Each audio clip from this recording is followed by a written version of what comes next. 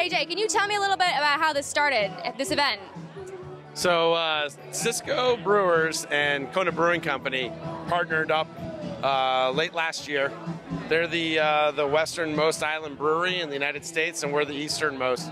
We collaborated on a beer together called Kona and Bisco, and so we flew out to Kona in March, and we joined them for their big beer festival. And in the middle of the festival, they throw a trash fashion show to celebrate picking up all the trash and keeping the island clean. So that was a total inspiration for us. When we came back, we said we have to do it for Nantucket.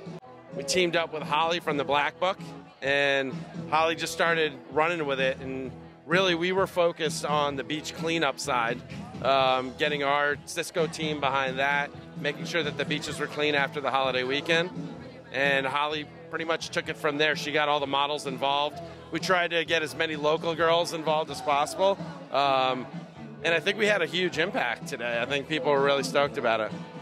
I do too. So, which one was your favorite outfit? Katie's uh, outfit, where she was the uh, whale's tail wrap. I think she had a mixed six pack of, or a mixed 12 pack of Cisco products wrapped around her. It was pretty cool.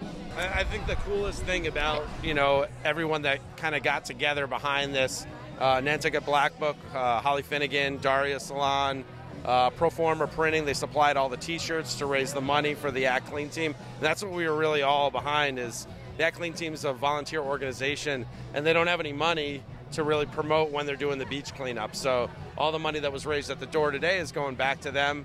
Um, so we try and talk to the waste options and DPW, really what's going to be best for Nantucket. That kind of rolled into this whole, you know, support the beach cleanup. We try and do as much for the community as possible. That's awesome. Thanks, Jay.